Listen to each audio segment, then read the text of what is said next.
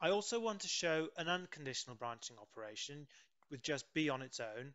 But for that, I'm going to use an example of an if-else statement now. So it has the else part of the clause as well as the if. So let, us just go through this and let's try and, well, the easiest thing for me to do would be to write this code out and then we'll deconstruct it and go, go through it line by line.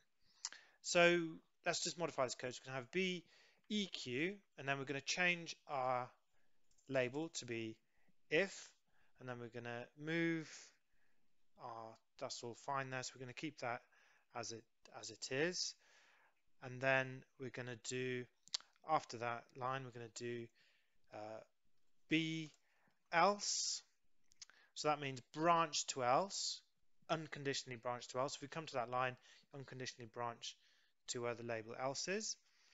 And then we're going to do um, if we're going to do mov r3 and then we're going to just move value into that hashtag 30 and then we're going to do else that else there in line 5 stays the same and then we're going to hold the program. So let's assemble the code. And unknown address at label 3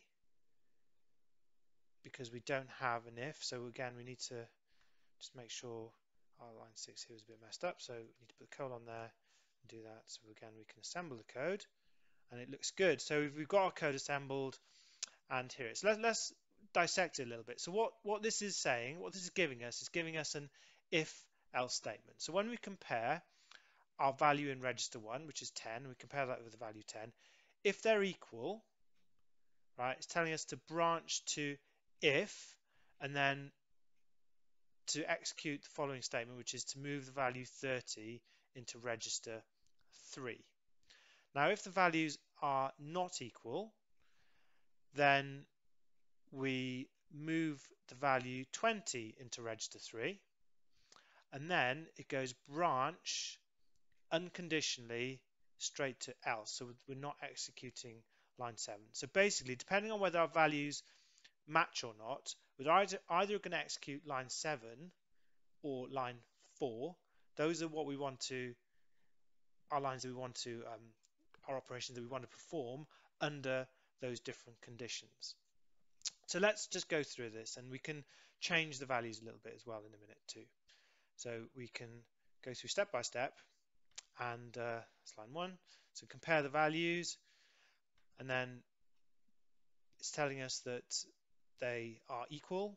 And then we move straight to line 7 so it's moving the value 30 into register 3 which is what happened. And then our program halts. Okay?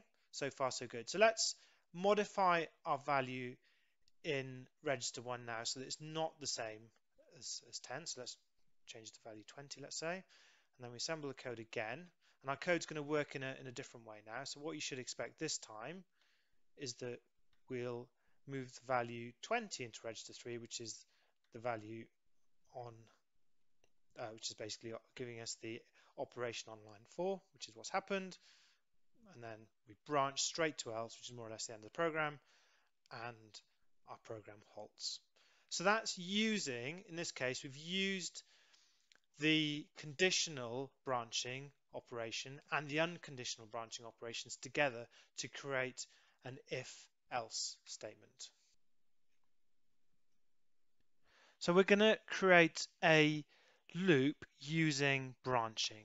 So I'm going to write some code and we'll, we'll go through that code. So that's how we're going to approach this. So let's start with moving a value into register 0. So we're just going to move the value 0. It's basically setting our register value to be 0. We don't need to do that, but because the value is already set to be 0, but we'll just do that anyway. And then we're going to put our label in here. So let's call it loop.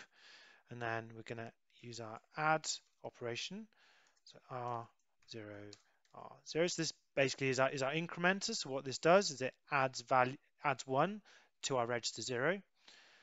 And then we do compare CMP R0 to, um, to 4. So it's going to compare our value in register 0 to 4. And then B N E and then go loop and then it's going to do halt. So let's assemble that first before we before we go through it. So there we go. That's that's our assembled code. So let's let's just go through this line by line. So first line is fairly self-explanatory. Hopefully you understand that one. Second line, that's where our label is. Notice our label now it's before where we actually do the branching. Line three, as I've already mentioned, is the increment here. So we're adding one each time we execute line three, we're adding one to the value in register three. And then we're comparing our value in register zero to four. And as long as they're not equal, we go back to the loop label. And it keeps looping until our value in register zero is equal to four. And then it no longer goes back to loop and then the program will halt. So yeah, let's run that and, and see how we get on. So first first line there, and we're going to add one to our register, which is register zero, which is what's happened. We compare it to four. They're going to be, of course, different. So they're not equal at that stage. So we're going to loop back to back again. So we're going to add add the value two now. So again, we've got two. Sorry, add the value one to register zero. So now we have two. And then we're going to go through this again, compare the value to four. Obviously, the difference. So we're going back again, going to do the loop again, add one again. So now we've got three in register zero and keep going. And now we've got four. And now the values, when we do the comparison, they're equal. So therefore, our program is now going to halt. So that's allowed us to do a number of loops, four loops in this case. And that's how we've created a very straightforward loop